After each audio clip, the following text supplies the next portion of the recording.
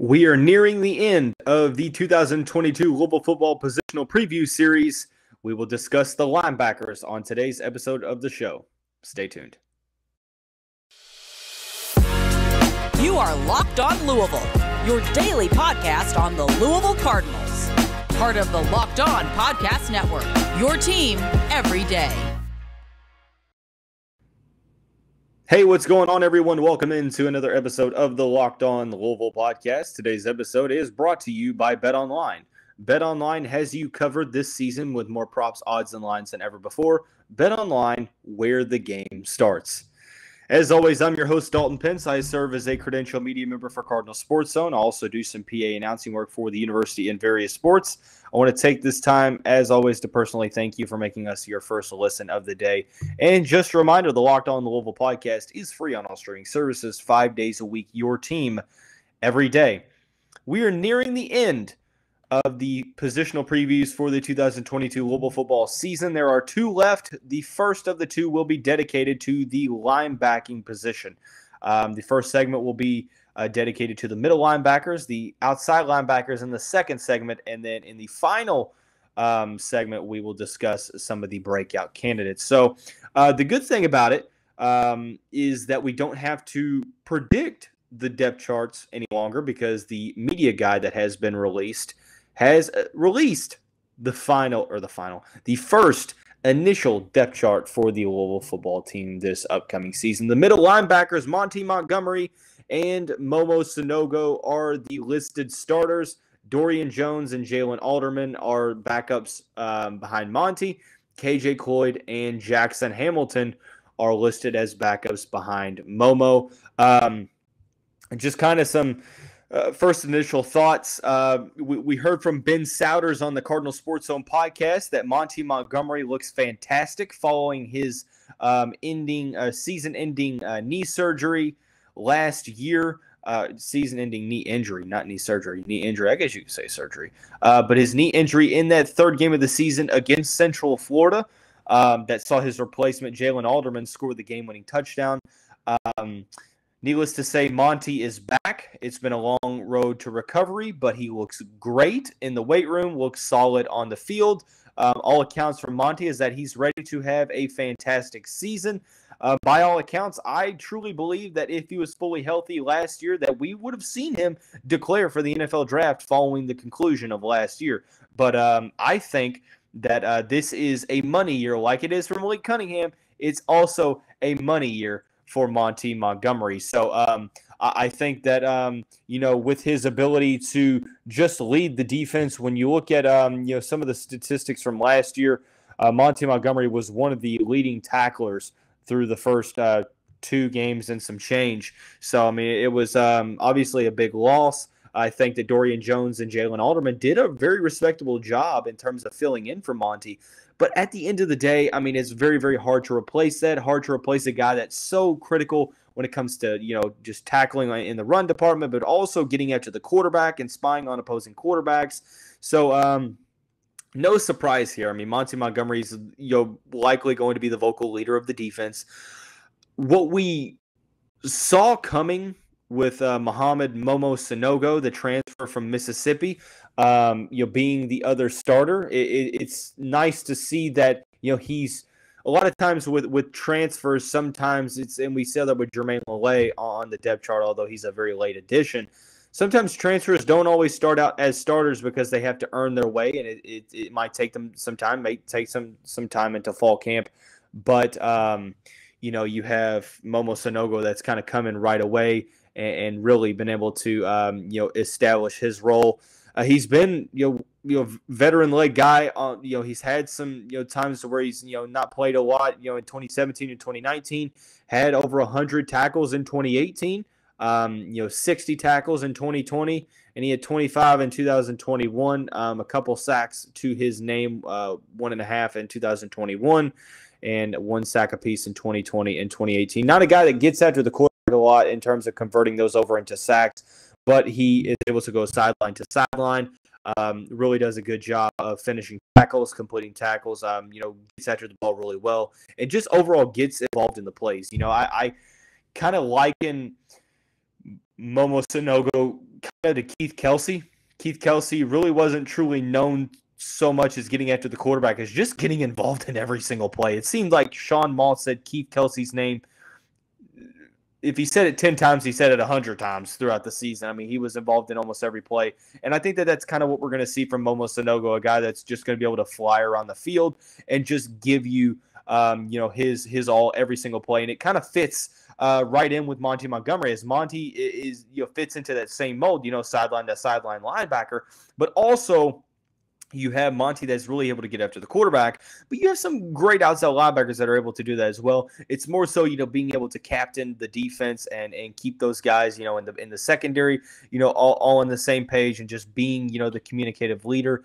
And I like the fact that Scott Satterfield went to, you know, the SEC and got a guy that's very decorated in the conference that's played a lot of snaps at the SEC level, um, regardless of what you want to say about, you know, him not playing a ton in 2021.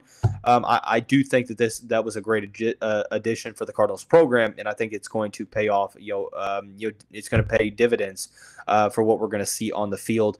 The backups, um, for for the most part, Dorian Jones and Jaylin Alderman, um, it, it, makes me feel better about the backups this season because those guys had to step into you know somewhat starting roles last year. Jaylin Alderman, his first appearance for the Cardinals, what did he do? He literally went out and won the game against Central Florida with a pick six. Uh, Dorian Jones had, had some big time moments throughout the season. You know, Alderman also had some other you know big time moments throughout the season. So having that valuable experience, having a lot of meaningful snaps last season, and being backups to one of the best linebackers in the ACC and maybe even in the country, um, what it does is you know it, kind of brings me back to the whole idea that when Scott Satterfield company came into this global program, it was about building depth. And that's what they didn't have in 2019. And that's what they still struggle to have in 2020. Started to finally get it in 2021. And now here we are in year four. We're able to have this conversation of okay, Dorian Jones and Jaylin Alderman, if, if you if you force them to go into a starting role again, they may, you know, definitely rise to the occasion. I think they have the talent. But now in a backup role, you can go you know two three deep eh, eh, you know at this set position and that's huge for you know, a team that had some injuries at the linebacking position last year, and I, am very, very excited to see what you know they're able to do at the one linebacking position. Then the the other one behind Momo Sanogo, you have KJ Cloyd and, and Jackson Hamilton. KJ Cloyd came in as a JUCO guy, and if you remember when he came into the program, um, when he committed, the rationale behind it, there was a lot of hype coming behind his um, you know commitment, considering the fact that he didn't go JUCO because of grades or because he wasn't good enough, because he was very very good in high school, but he had a very horrific injury that he had to battle. He went to the JUCO route, and here he is, um, you know, fighting his way to the Division One ranks. Uh, was very very solid on special teams last year, but obviously, and not a lot of opportunity when you have guys like you know Montgomery, you have C.J. Avery, and, and so on and so forth. Uh, KJ Cloyd last year had 12 tackles, um, a lot of those on special teams as well. So uh, I, am very, very excited to, to kind of see how, how that goes. Um, just overall, ju- just a very, very solid, um, you know, inside middle linebacking committee. Uh, Jackson Hamilton, a redshirt freshman, he he's one that I'm very interested to see. Uh, considering you know him, him, at that three spot, he was ranked just outside the top 900 in that Flyville 21 class, um, listed as a safety coming out of Roswell, Georgia. Um, but in, uh, but but he had a lot of guys going after him. Uh, coming into the program, six one two zero oh five. He he's beefed up a, a, good amount, you know, from what I'm hearing, and um, I, am interested to see um, what role he's going to play this upcoming season. It's worth noting um, that with these initial depth charts, you can't treat them as like you know set in stone like gospel. You can't treat them as the gospel. Like they can't you know be um, you know you can't treat them as fact. Uh, I guess you could say uh, it's not set in stone. There's still a whole fall camp to be had. So some of these guys might fall down the depth chart. Others guys might rise up the depth chart. You just never know. Uh, but it's it's nice to have an initial thought of, of, how things are shaping out because you know you have you have a good idea of everything. So um, you know having that experience, Monty Montgomery, Momo Sanogo is great because I think the linebacking core is, is you know very instrumental for this defense. But it might be even more comforting for me is the fact that we finally, maybe for the first time, you know, coming into the season, maybe that we had it last year until we got some injuries early on, but we finally have quality depth in this program once again. So I'm very, very excited for that.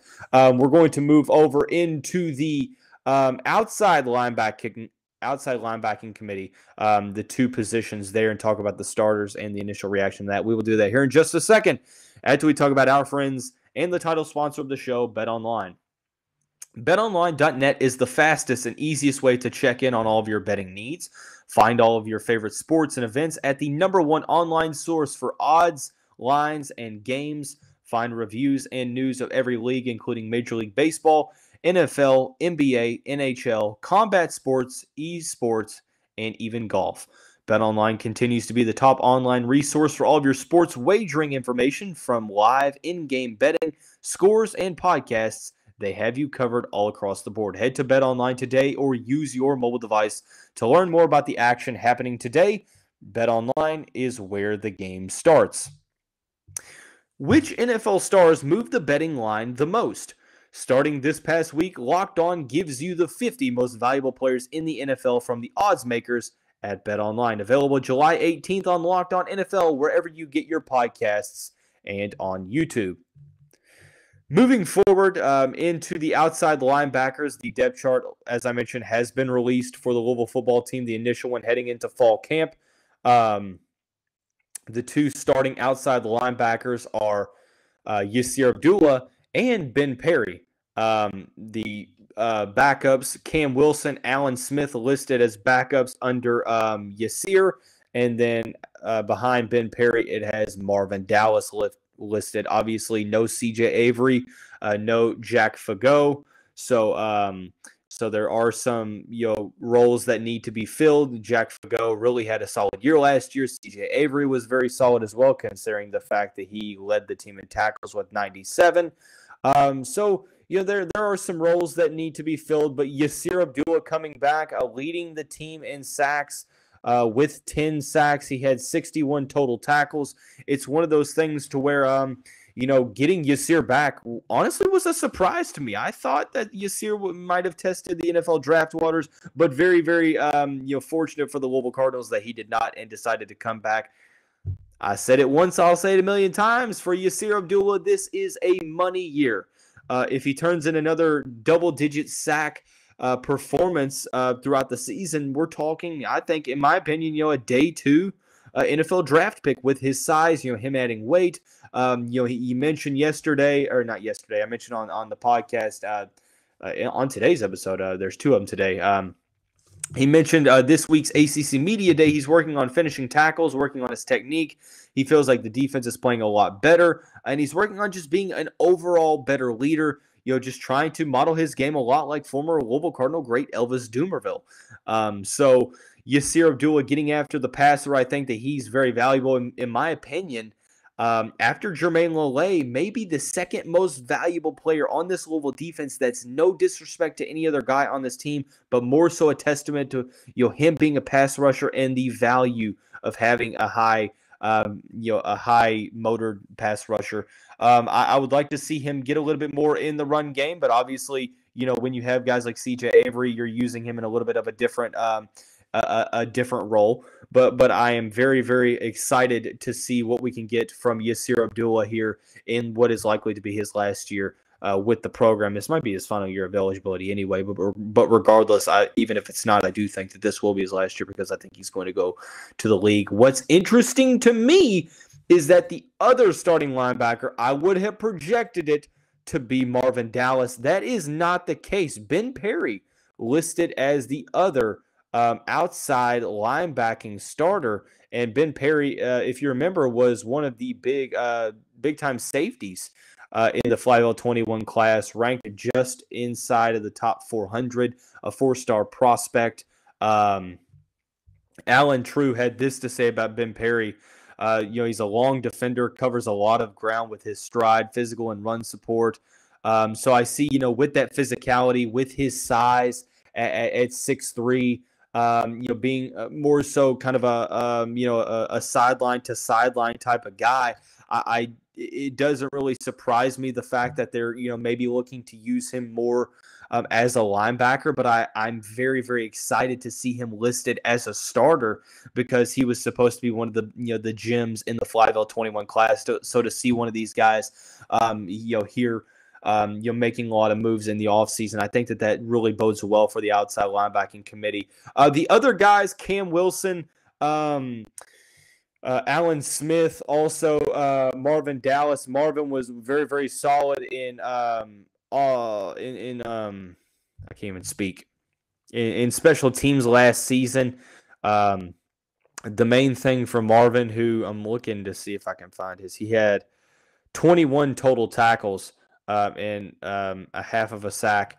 I, I do really want to see him, um, you know, be some solid depth, which I think he will be. I think he he and KJ Cloyd will once again be very very um, big leaders in special teams, which special teams can win you games as well. So I'm not going to sit here and act like that is some uh, aspect of the game that you know it shouldn't be receiving a ton of significance because it definitely should. Um, I think that at the end of the day, this is an instance to where you know having that um, you know that depth which is experienced but that's played a good amount of snaps that has gotten the experience at the power five level you have that from kam wilson as well kam wilson a former four star um, recruit in, I believe it was the 2020 class. Um, uh, uh, Scott Satterfield's first overall class.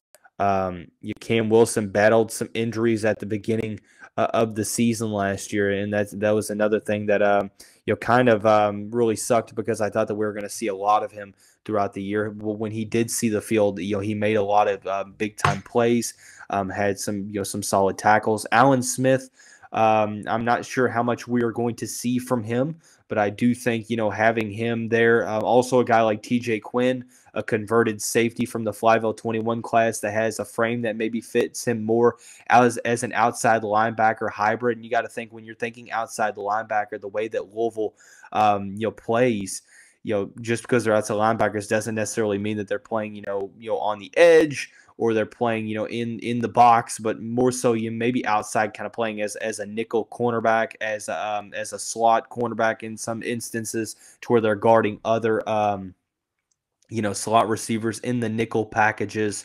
So, um, we'll, we'll kind of see what roles they, you know, TJ Quinn and Ben Perry have. I think that Ben Perry, you're going to see more, uh, more so obviously in, in coverage. Um, they have different names, obviously, for the different positions. Um, We'll see if Nicario Harper, uh, with his frame, I know he was listed as a safety on the depth chart. We'll see if he kind of plays in that, um, you know, that card role that uh, Marvin Dallas and Ben Perry are going to slide into. Uh, Popeye Williams is a is a player, the the top uh, recruit from the Flyville 22 class um, that I told that I wouldn't mention as an edge rusher um, because you know in the three four defense kind of projects more as an outside linebacker. Um, I think that we're going to see some big time minutes or big time snaps from from Popeye Williams this upcoming season. Um, he's going to be a guy that we talk about in terms of uh, some possible breakout uh, candidates for this upcoming year. Um, so let's go ahead and transition over into that final segment. Um, if you were listening to this uh, on any streaming services, you're going to hear some implemented advertisements. So be weary of that. Um, stay tuned, relax, um, take a little break, um, and, and, we'll see you back here in just a second. If you're watching this on YouTube, obviously you're not going to hear those advertisements. So uh, just stand by.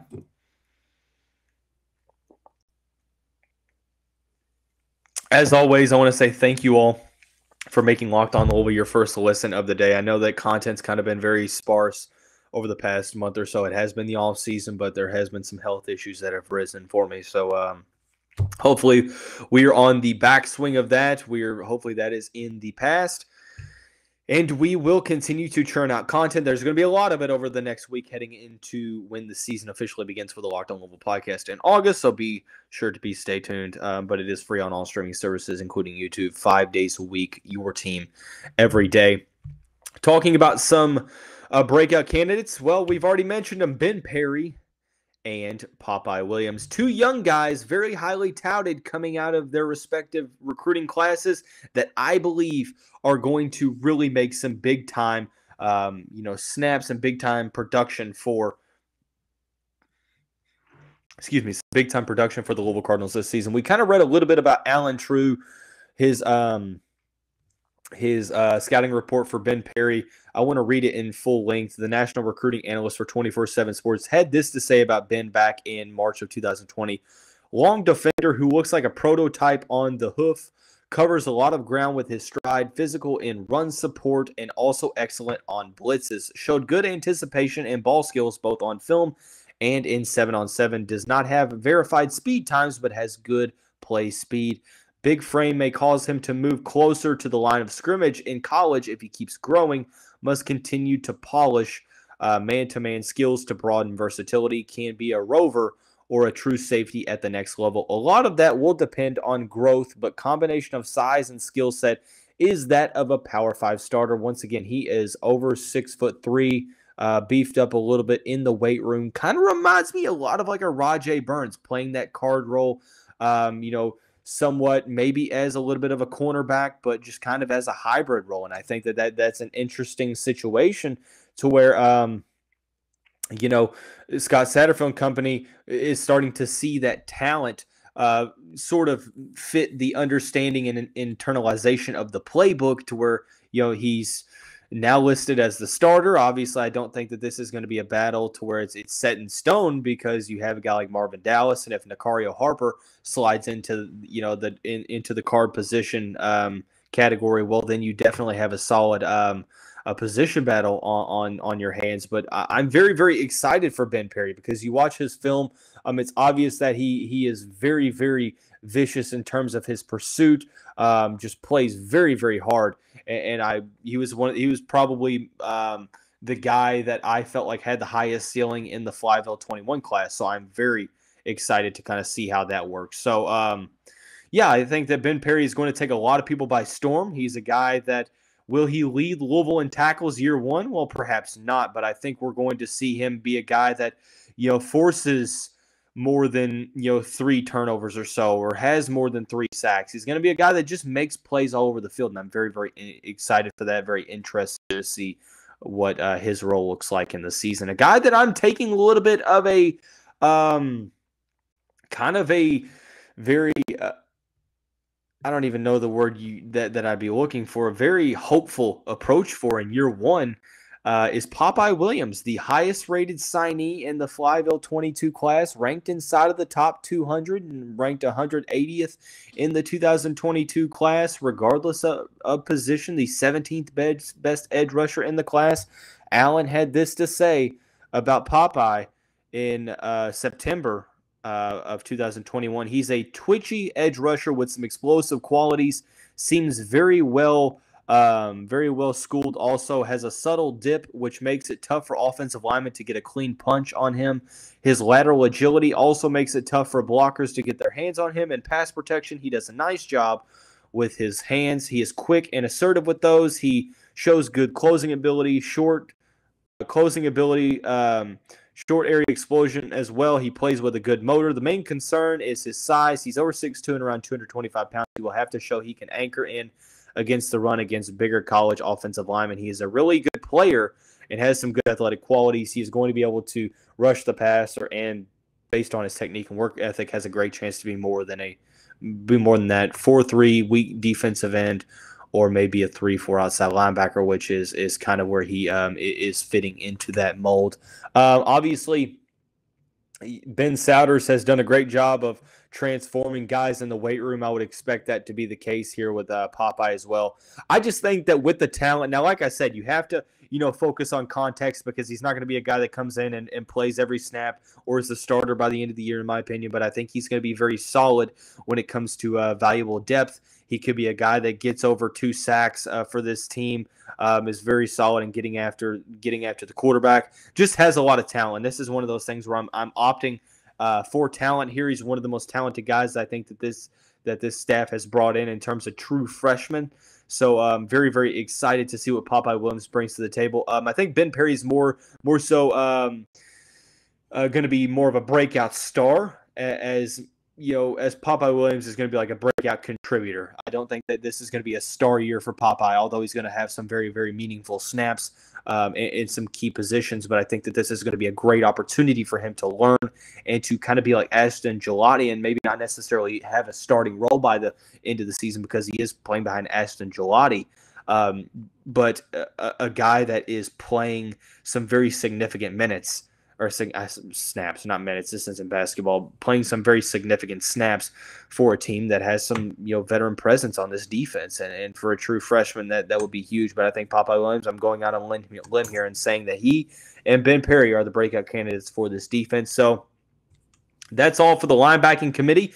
A lot of uh, veteran leadership, a lot of proven depth with experience. It should be a very, very good season for the Louisville linebacking core. The final positional preview will be over the next couple days. That will focus on the cornerbacks and the safeties, also known as the secondary. So that's going to wrap up this special Saturday edition of the show. Everyone, have a great day. We will see you right back here very, very